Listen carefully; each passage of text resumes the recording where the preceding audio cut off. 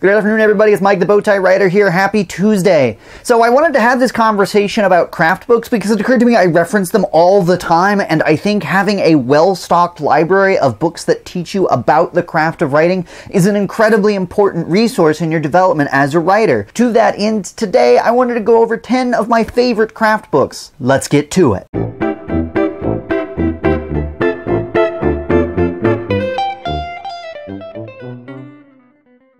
First up, hands down, my favorite book on this list, Scene and Structure by Jack Bickham. The reason that I love this book so much is that he does not treat writing as some mystical, magical process, but instead he treats it as a specific thing that you can control using very specific techniques. As such, he goes over what is a scene, what's the exact definition of a scene, what are the components that make up a scene. He goes over sequels, their compatriots. He talks about how they fit together, and he gives you specific nuts and bolts of things that you can try to change for specific effects. This is the book that really let me take control of my writing instead of just trying to be guided along by my characters. Up next is Building Better Plots by Robert Kernan. To be perfectly honest, when I started reading this book, I didn't like it that much. I didn't think there was that much there. I thought that the first time I read it, I thought it the second time I read it, and then I realized, wow, I've read this like five times, and I've learned something new every single time. This is an excellent book that goes over the foundations of the structure of your plot, basic three act structure, how those components interact, how you can manipulate those components, as well as some practical advice, like how to use index cards to actually lay out and plan your plot.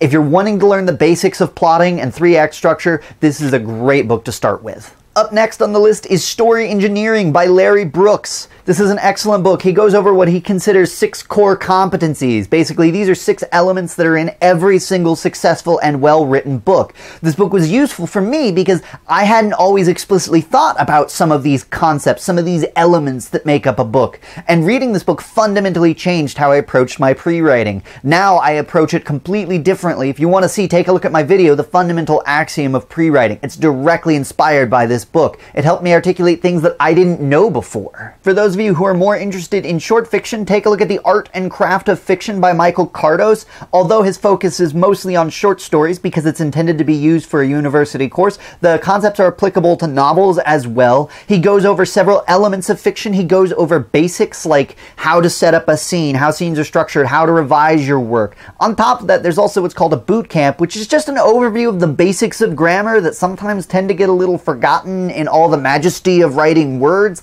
In addition, there's an anthology of short stories that he analyzes and references throughout. It's a very practical, very gritty, excellent book. Up next is Beginnings, Middles, and Ends by Nancy Kress. The premise of this book is very simple that sometimes something's not right in your book. Something is going wrong with it, and that book can be going wrong either in the beginning, in the middle, or in the end. She analyzes common problems that books have in each one of these sections and gives you tips and ways to try and fix those problems. This is a wonderful book to read, especially if you're finding your book is particularly stuck, because odds are Nancy Kress has shown you how to get through that problem.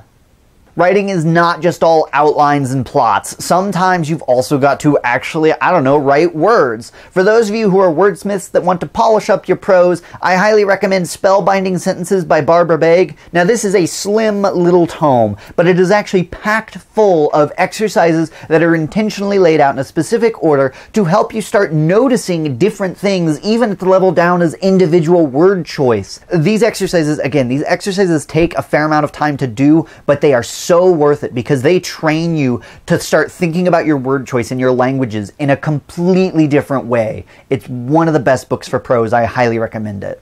Up next on this list is I Should Be Writing by the Hugo Award winning Mur Lafferty. This is a wonderful book and I love it for two reasons. Number one is that Mur does provide an overview of the writing process, but she's not getting super down into the weeds and the technical details. Instead, she's giving you a broad lay of the land and is also very open about sort of the brain weasels that can inhibit your process. She's like a great coach who's standing beside you, warning you about stuff that you might encounter while also pushing you to succeed and telling you that you can do it. There's nothing quite like that. The second thing that I love about this book is that the entire last half of it is all writing prompts and exercises. I do some of these just as a quick warm up when I'm trying to get started for the day. They're very useful, and the book overall is completely unique on the shelf.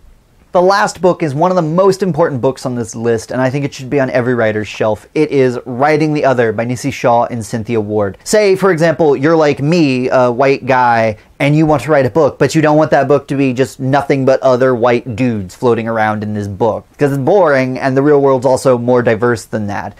That's a very treacherous terrain because if you do it wrong, it's potentially laughably bad. It's also potentially actively harmful to your readers. It could be just outright perpetuating racist stereotypes that you didn't even realize existed. It is a very treacherous thing to do to try and write someone who's very different from yourself. This book is a map, it is a guidebook to tell you how to do it appropriately and effectively. It gives you a way to learn it. As such, I think it is essential for every writer on their shelf. And I will also be straight, it is an incredibly difficult read at times, but it is absolutely worth it. okay, so that was pretty quick, but I do firmly believe that every author should have a writing reference shelf that has different books about the craft so that you can spend time learning your process and learning what other people do. It doesn't replace writing time by itself, but I do think that these 10 books are worthy additions to anyone's reference shelf. That being said, I also know that there are a whole lot more reference books out there in the world. So let me know down below in the comments, are there any reference books that you find really useful about writing that I omitted? I'd love to hear about them. Let me know down in the comments or feel free to hit me up on Twitter. I'm at Bowtie Writer. Otherwise, that's it. That's all I have for this week. If you like what you saw, please like, share, and subscribe. That does help me out. Otherwise, I will see you all next time.